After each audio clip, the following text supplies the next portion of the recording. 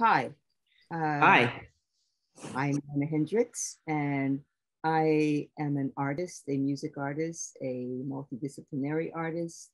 And uh, one of the things that I am doing is welcoming you to a tea slash coffee chat uh, to support and support of For Colored Girls, uh, the play that is on Broadway currently, uh, created, written by Ntozake Shange. This is a revival of an amazing uh, work. And uh, if you haven't seen it, go see it. But today I am going to be in conversation with Mickalene Thomas, who is yet another amazing woman of color, Black woman artist, uh, working in multiple disciplines as well. And I think what we'd like to talk about is how for colored girls, uh, I, I, always want to say the whole name of the play as I say it, but uh, it has had an effect on either myself or on Mickalene or Mickalene's awareness of it or Ntozake uh, as an artist and what it means to uh, specifically Mickalene to have a play like this uh, on Broadway, have it exist representing women of color in the same way as Mickalene represents women of color in her artwork and um, collage work. So I will start with uh, telling you a little bit more about Mickalene Thomas.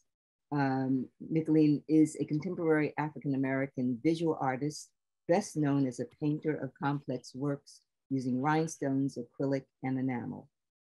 Uh, Mickalene's collage work is inspired from popular art histories and movements, including Impressionism, Cubism, Dada, and or Dada, the, the Harlem Renaissance, her work draws on Western art history, pop art, visual culture to examine ideas around femininity, beauty, race, sexuality, and gender, specifically focused on women of color. Yes. Lean. Hi. Hi. This is so, great. So happy to be here. Last time I saw you, you were dancing in the audience at the ICA gala. Well, how could I not dance in the audience? You were you were you came through and I had no idea and just blew us all away with your fantastic voice was, and style. Was, I was just like, oh my gosh, this is this is like everything I need right now. Uh, wonderful. It was fun. I, you know, had no idea that that audience would break out on the dance floor like they did. So led by this little uh, woman who I thought was like, okay, where did she come from? But yeah, that was uh, really wonderful. But here we want to, uh, you know, what is what is your experience? Did you uh, uh, hear? Uh, how did you hear of for colored girls? When did you hear? Well, when I learned about, well, I learned about for colored girls the uh, Ntozake, Ntozake Shange's uh, for colored girls um, who considered suicide when the rainbow was enough through reading Sassafrass, um, Cypress, and Indigo. Um, so that's how I came into learning about Ntozake mm-hmm.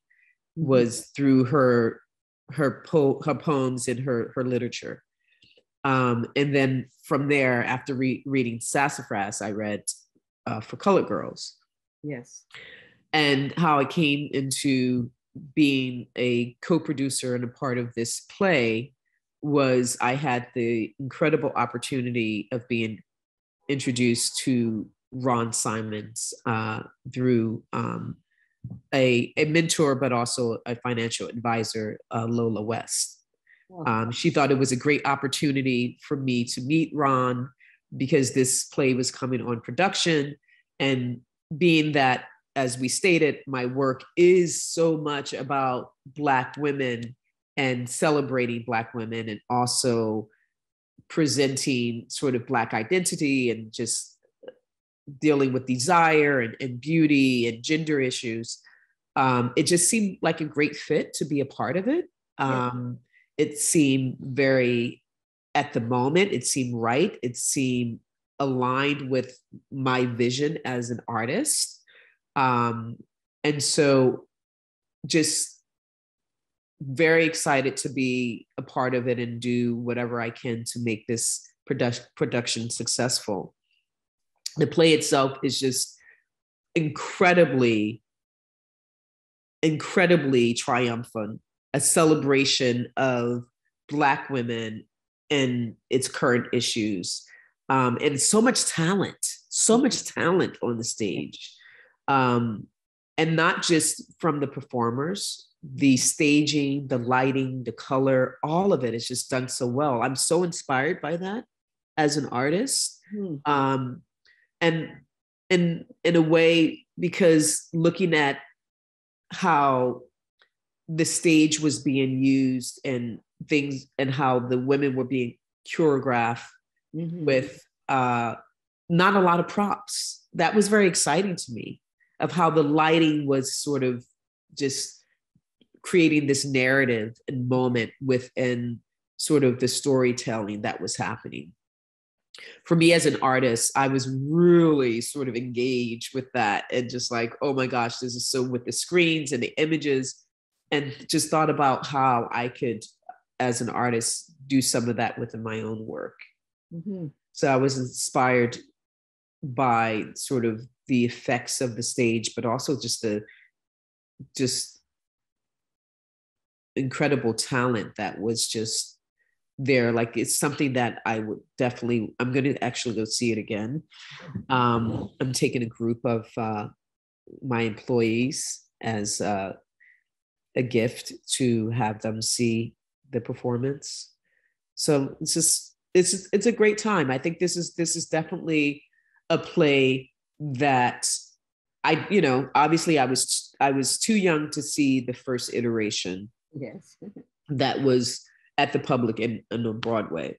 Mm-hmm. And although this this parts of this version was at the public, I think in 2018 or 2019, I didn't have the chance to see and I was traveling so much um, that year. Mm-hmm. Um, but once I knew that this play was coming to Broadway, I, I knew I wanted to be involved in some way. Um, I think it would be questionable if I wasn't. I know, and it's it's so wonderful that you are a, a producer, uh, a Broadway producer, added to your other credits that you have, incredible work. Uh, and also, I have to say, uh, uh, thank you to Ron for bringing not only you, but also bringing Valencia Yearwood, bringing women of color uh, mm-hmm. to the table, into the room uh, to produce our stories. Um, you know, uh, Thoughts of a Colored Man, yep. Girls, and other works that are in the work and that have happened in the past. So it's it's one, and I think the thing that has been is so wonderful about that is that there are many people mm-hmm. in my conversations with Valencia and with Ron that uh, women specifically and women of color don't think they have the wherewithal to be a, a Broadway producer. Mm-hmm. Ron is showing and leading the way uh, to show that you can and you can come at whatever level you're capable of contributing and that the more of us who come the you know the we can support work mm-hmm. or can be brought forward so i think i think that's wonderful that you are uh, there and that the knowledge of that will be sh- shared not only in the theater world but in the art world mm-hmm. and the other worlds that you uh, traverse in with music and the music artists you work with, the more of us who come to the room and to the table, uh, the more our stories will be told. Absolutely, absolutely, and uh, you know, with this opportunity, and you're like speaking on something that's very near and dear to my heart is that we need to continue telling our stories, but we also need to be involved with how those stories are told, right? And I think that's why when we look at sort of television as this great platform, how, mm-hmm. you know, with people like Shonda Rhimes and all of these women who are involved, not just, you know, they're involved from like the writing to the producing, just like really making sure, you know, you have like Lena Waithe, all of these people who are involved, that's changing sort of that sort of makeup of what television is today. Mm-hmm. Because we are telling the stories and not only telling the stories, we're creating the content. We're the producers. We're bringing the money to the table. And that's what's needed in theater is that there needs to be more of us involved. So that way, when productions like for Color Girls come to Broadway, we have the support that's needed. Yes, absolutely. And and it also allows us to bring all of our creativity to the fore. And you know, we are such a multi uh, colored people mm-hmm. that there's so much the the mixture from the, the Latinx to you know, the, the island uh, Caribbean to uh, the Asian uh, mixture within mm-hmm. the, the, color, the African, you know, African Mexican, the African American, the African, mm-hmm. you know, the Black British, all of that, all of those stories are uh, stories that we need to tell as well as bringing into the mix the other cultures that we mix in and yeah. you know so that we're we're not as i've said a monolith we are a, a cornucopia yeah. of, of, people and then it comes down to the human uh, part of this and you know one of the things i wanted to ask is the you know how it has this play has impacted you know you've shared some of that but in your work going forward the impact that this play will have on you, which also probably will draw some sassafras back into your, uh, mm-hmm. you know, into now. Mm-hmm. I think one of the ways in which this play um, will impact my my studio practice is really thinking about um, poetry and story and how you can use that with sound. I'm, you know, in the last couple of years, I've been really uh, fortunate to collaborate with like Terri Lyne Carrington and doing with Entrepre, where I'm doing some visual images yes. to her musical compositions or scores. Mm-hmm. And that's a that's given me really an incredible window into understanding music. Mm-hmm. And because of that, you know, understanding jazz and because of sort of all of those layers within music and jazz i'm able to um as a mixer as someone who is an image maker and someone who takes images and collage and sort of makes sense out of sort of what these images mean in the world mm-hmm. i'm able to create new content from that. It's 13 hours. Sorry about that so it's 13 hours. Okay. my I, I don't know how to turn off the time thing on my computer. My, my daughter put this time code on it. so, a reminder. A reminder of what time it is. Yes. To keep me on point, that's for sure. Yes, and me as well. So the the thing that uh you know But it's just it's been like really I'm excited like I don't always know to be just very transparent and honest about how I work in a very organic way. I don't always know at that moment. I know it's resonating, I'm absorbing like what I'm taking in, and it's not always clear to me right now what the effects are going to be, but I sort of take it and I catalog it and I store it, yes. right? And have it go through me. But I know that it's going to permeate and resonate and come out and be executed maybe a month from now, two months, a year, but it comes back into the work, right?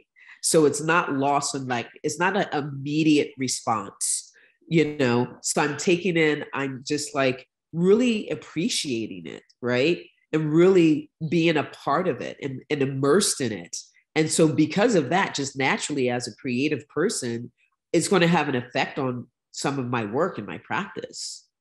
Yes, I, I identify completely. That is uh, that is my path to creativity, uh, and but and also I think with Ntozake, having known Ntozake uh, and performed with Ntozake, uh, wow. and uh, just you know spent so much in the same sort of lanes and places over time. And Ntozake's uh, exploration with music, and we did a show at Irving Plaza many years ago. I did something called Word Life, and uh, the last po- last poets, different people like that were on it, and Ntozake, and she did, which I have a uh, a version of Transformation, which she wrote um, a spoken word poetry uh, piece for. And it was really interesting where she took it and what she needed to say about it. But her uh, incorporating music and then for colored girls having music uh, as a, you know, connecting of the stories, uh, I think it's really wonderful that, to see that you do, you know, you're finding that in your work as well. And so maybe there will be a Mickalene Thomas uh, Broadway or theater piece because what you do, you know, in your work is very much uh, theater, but from a different, uh, using different uh, tools or different Yeah. uh, elements. Yeah, no, absolutely. You know, and just like when you think of someone also like Camille A. Brown, you know, who is, you know, the first director and choreographer of a play in like 65 years on Broadway. And, you know, we should also mention that, you know, For Colored Girls has been you nominated for seven nominations, Tony Award nominations, which is so incredible and exciting. You know and it, you know like to to do that is like that is for me testament of the power of this play is that the point is we got to get people in to see it it's you know it's it's due to close june 8th and we don't want it it does this play does not need to close. No, this place should not close. No, it is it is so needed and so important that it needs to be there for people to not just people of color or women of color to come and see, you know, themselves represented, but other people uh, need to come and see the and hear Mhm. the representation that they don't uh, know and don't engage with, uh, and and maybe gain uh, a better understanding of some of the people that they work with in their jobs or they engage with in, in the street or in stores or you know wherever they are, so that they that that yes, you're right needs to be seen. Camille Brown being uh, you know this uh, anomaly Mhm. Mhm. and you know the and that this is a cast of women of color uh and all types of women of color like you said you know the diaspora you're you know what i mean it's just like incredible you know we have one woman who's like i think eight months pregnant or something maybe seven maybe i'm exaggerating how pregnant she is but she looked pretty pregnant to me Yeah. and i was just like i was just stuck on her. I was just like okay mama okay mother. But that's just testament of like the resilience and sort of who we are as as women and as black women that we could be carrying child right? Yes, we could be carrying child. And still do. And still do. Still do. Whether it's inside us on a back on a side whatever on a head and we're still doing. Yes well you know, that is and and it is such a uh, you know not only for women of color because we've had to do that and more and extra right Mhm. and that other bag of chips we had to do uh, but women have you know that that multitasking ability that comes from i think being from mothering uh, is really something that either as a mother or something you learn from your mothers Mhm. as a woman that you have to be able to have eyes at the back of your head because my mama had eyes at the back of her head she could see when i was doing something i shouldn't be doing Yeah. i thought she wasn't looking so yes these are you know representing all of these women you know like oakley who is just a phenomenal. Uh, Oh, um, I had never seen her in this kind of role, and it's really, you know, for the world to be able to see her. the world needs to see it. And, you know, I've been reaching out to as many as my network of sisters and, and Black women and Black men to like really encourage them to like be responsible, to be responsible in supporting this pr- production, this revival. Yes, Um, oftentimes we are not supportive as a community to when to show up. This is when we need you to show up. yes, This is when we need you to put your money where your mouth. This is when we need you to We show need- up.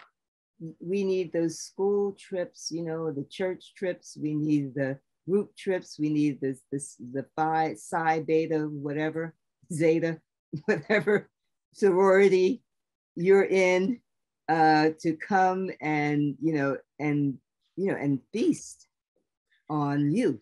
Yeah, absolutely. Because when I say they need to show up, because the lack of not being present is to show the world and to show Broadway that these type of things cannot be produced or shouldn't be produced or invested in. Yes, and that we will that we will support it. Mhm. really because Yeah. that's you know the the numbers and the figures people that's what they're looking at. They're not looking at your you know so much supporting your culture.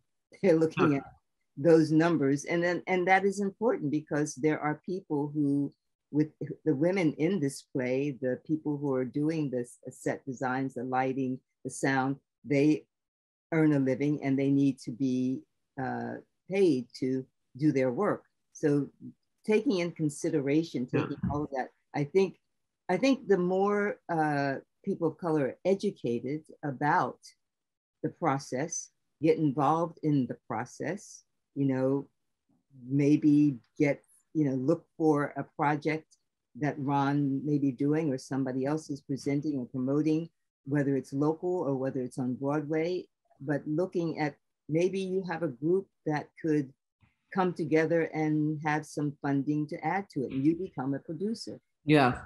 of, of what it is that you want to see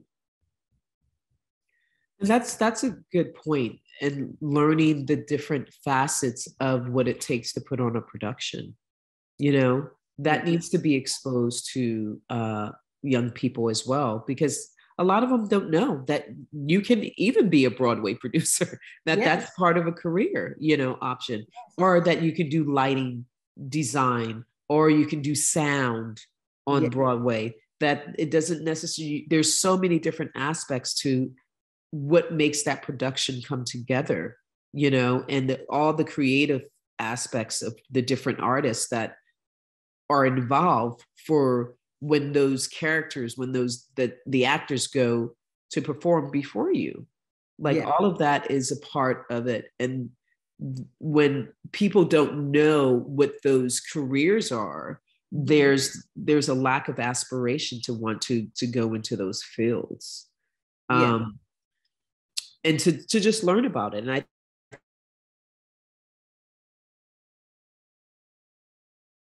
oops we lost Mickalene.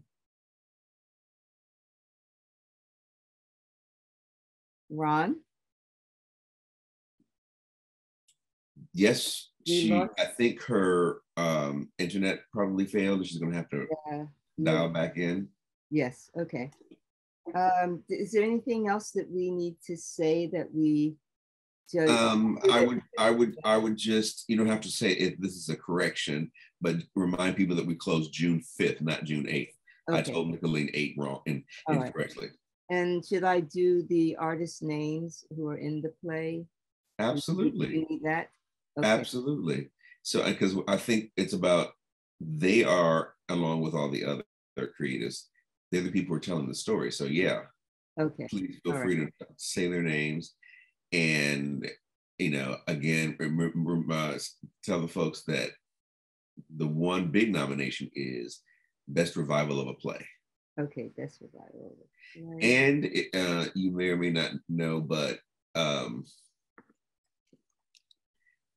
uh, we have the most Tony nominations of any play currently on Broadway.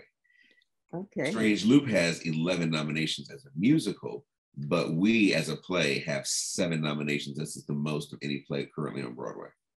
Okay. Hmm, I'll just do that. Um, I, thought- I thought I had a list of the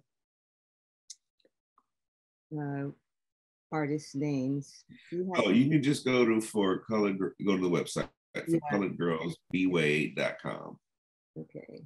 and then click on cast.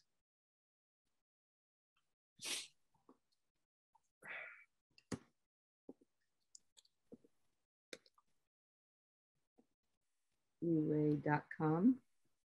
bway.com, yes.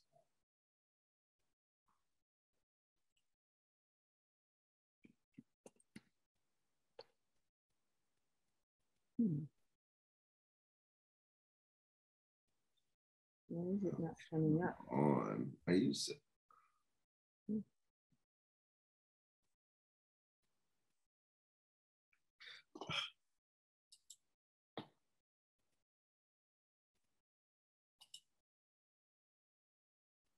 Why? So sorry, Mickalene. I'm sitting here going about to call you, and you sitting there knocking I'm on the not sure door. what happened. I was disconnected. yeah, you just got you just dropped out there. I don't know. I think it, you know what. And the lights on here in the house went off. I think there might have been a, a quick outage. Huh. Do you have any light that might be pointing towards? Wait, okay, Wait, sorry, two two different. Oh, how am I? s- Wait, there's two different images that are messing me up because what Mickalene is doing on the bottom right is not what Mickalene is doing on the left. Oh, she's on her phone, I think. Her phone and she's on, Yeah, because yeah. let me just. You, you have to turn one of them uh, audio off. Yeah, whichever one you want to get rid of. Probably for consistency, it's probably better to keep the one with in the kitchen, if that's a kitchen. yeah. And any light that you can You're back. spare You're toward back. you would be a good thing. We need your That's audio. better. Just get that close. Okay. I we can't hear you. Are you muted? You're muted. Wow, that was. I was like, what's going on? Yeah, Exactly. you know, the uh, I wasn't sure because sometimes Zoom is on a time. I was like, oh my gosh, did it go Oh. off? Yeah, no technology. You know, Exactly. it does its own thing. So I'm going to come back with um, uh, the talking about the uh, Tony nominations, best best revival of a play. So should I just go into that and then I can go on to list the name of some of the of the actors? Oh yeah, let's do that. They're so amazing. Okay, we'll do that, and then I had one more question to ask you, Mickalene. Okay. And I'm going to say that it actually closes June 5th. Oh, June fifth, not June eighth. I'm sorry. Yeah. See me, I'm, I'm, I'm just putting more time on it. That's all. Then I like how you're thinking. yeah, and I apologize. I'm the one that's told you June 8th. I'm not quite awake yet. Okay. As you Okay. were. All right. So maybe what, what we should do is, Mickalene, you can make that correction, then I'll pick it up from there. Okay. You want to start? So everyone needs to get go out and see for Color Girls now. It closes June fifth. I s again, I say June fifth, Yes. Thank a you. A couple of weeks from now. Yes. So get out there, get your tickets. And uh, I also wanted to uh, again say that it is uh, nominated for Tony for the best revival of a play, which is amazing. And also, it has the most Tony nominations of any Broadway show, seven, which is, I think you mentioned that earlier, Mickalene, which is absolutely wonderful. So you don't want to miss it because you're going to, you know, miss something that even the the the very sort of, you know, the hard Broadway people are voting for. Uh, I wanted to ask one final question, Mickalene, because Okay. you know, I know that you're going to have something, um, you know, what what did you sacrifice to harness the power that you express in your work? Mm, that's a great question. What did I sacrifice that harnessed the power and greatness of my work? Um, I think what I probably sacrificed or I use to give myself like inspiration when things are tough and hard to like push through is sleep.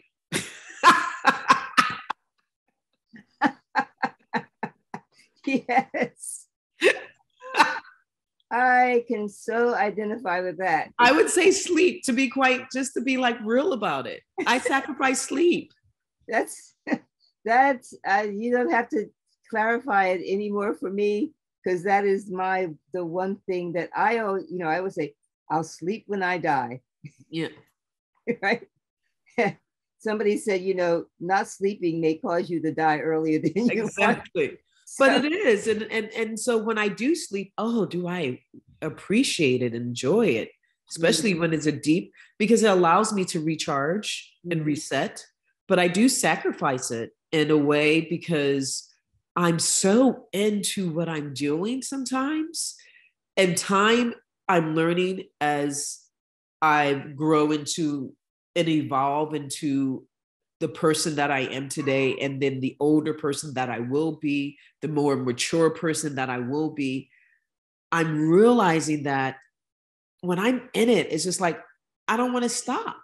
You know what I mean? Because I'm loving it so much that I'm doing this and I'm making this and or collaborating with this or have this idea or this thought or, you know, and so I'm there's sometimes there's not enough time, right? And so I'm just pushing through because I'm like, it's, you know, basically, you know, you have that 24 hours in a day, but it really seems like 10 hours in a day because that's, you know, you don't have the really the, the time to do everything that you want. So I'm pushing through and sometimes I'm on the edge and that edge is fun but I'm sacrificing a lot of things like sleep when I need to just take my my my my tail to bed. yes.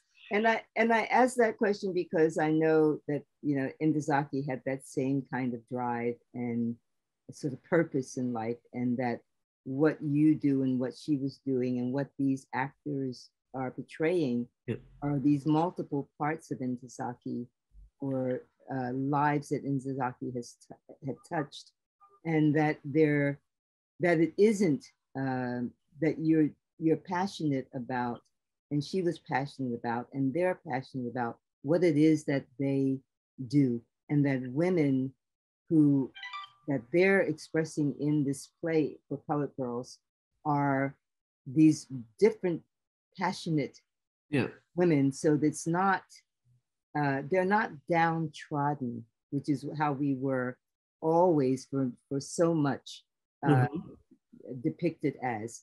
These are fully formed women that I know and that oh. I, that people my life, my sisters, my nieces, my cousins, mm-hmm. my, you know, and that's why I think it's so important for people to see this.